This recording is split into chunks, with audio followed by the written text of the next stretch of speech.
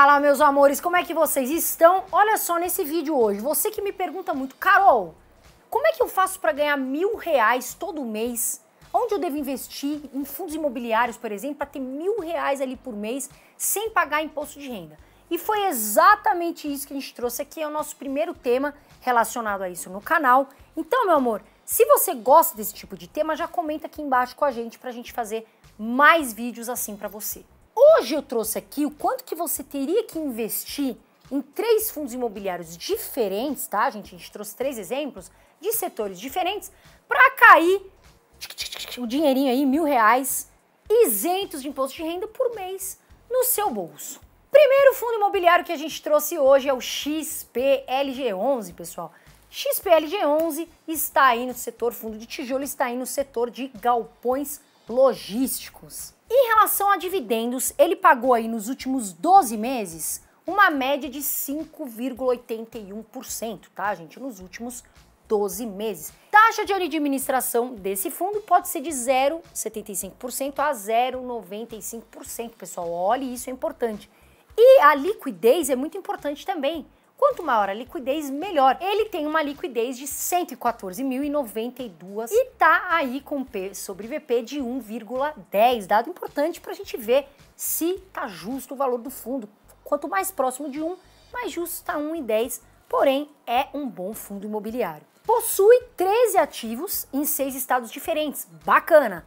Tem bastante ativo, que é importante, bastante inquilino, e em estados, né, localizações geográficas diferentes. Em relação aos dividendos, o seu último rendimento foi de 0,50.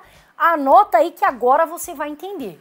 Como o último rendimento desse fundo, você teria que ter investido aí 200 mil reais para você ganhar mil reais no seu bolso, né? Isentos de imposto de renda.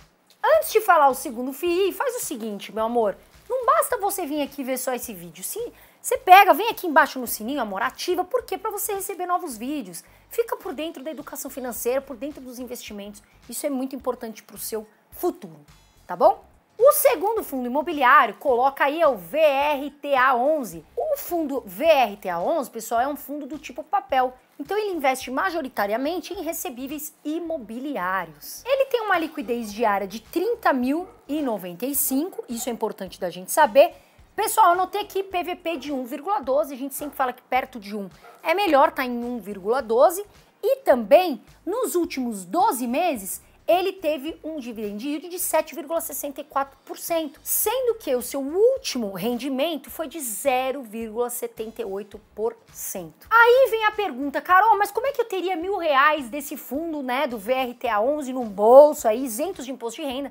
Lembrando que são aluguéis, espécies de aluguéis aí isentos de imposto de renda. Se o último rendimento, meu amor, foi 0,78%, se você tivesse lá 140 mil reais investidos nesse fundo, você já teria no bolso caindo para você R$ 1.092, lembrando, isentos de imposto de renda. E agora, pessoal, o que, que a gente quer? Que a gente quer ganhar dinheiro, mas a gente quer que você ganhe também. Então, clica no link que a gente vai deixar na descrição, que é a nossa comunidade VIP.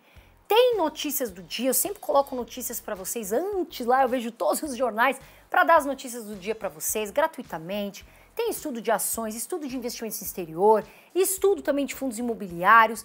Pessoal, é gratuito, quanto mais conhecimento melhor. E o nosso último fundo, coloca na tela, por favor, Katoshi, é o HGRU11. Gente, é um fundo do tipo tijolo. Ele investe principalmente em empreendimentos imobiliários para uso institucional e também comerciais, tá bom, meu amor? Esse fundo ele é gerido pelo Credit Suisse e tem uma taxa de administração de 0,90% ao ano. Detalhe, esse fundo ele tem uma taxa de performance de 20%. O que, que é isso, Carol? Taxa de performance, só para ficar mais claro para você. Se esse fundo conseguir ultrapassar o benchmark, que é o IFIX, né?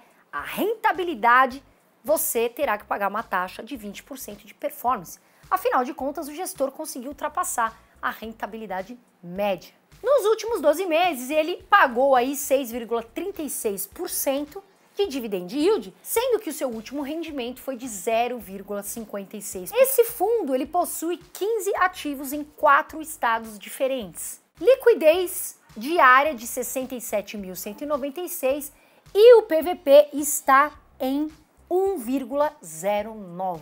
Aí vem a pergunta, Carol, como é que eu receberia mil reais aí por mês se eu tivesse investido nesse fundo imobiliário? Como o seu último rendimento foi de 0,56%, meu amor, se você já tivesse aí 190 mil reais investidos nesse fundo, você receberia mil reais, mil e sessenta e quatro reais no bolso por mês isento de imposto de renda.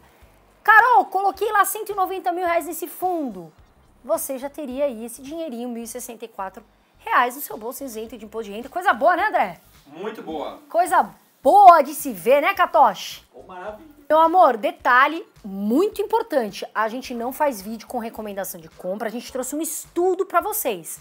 Agora é importante que você estude os fundos imobiliários, meu amor. Quem estuda sabe e conhece. Por quê? Fundo imobiliário faz parte da renda variável, como as ações. Então pode subir, descer, sofrer oscilações. E é importante que você saiba disso, tá bom, meu amor? Diversifica a carteira, faz aquela gestão de ativos, saiba onde você está colocando, tá bom? Quem cuida melhor do seu dinheiro é você mesmo, certo? Gostaram do conteúdo desse vídeo? Coloca aqui embaixo pra gente, hashtag gostei. Coloca aí, hashtag gostei, que a gente traz mais. Então é isso, eu amo vocês. Voa Brasil, fiquem com Deus e até o próximo vídeo.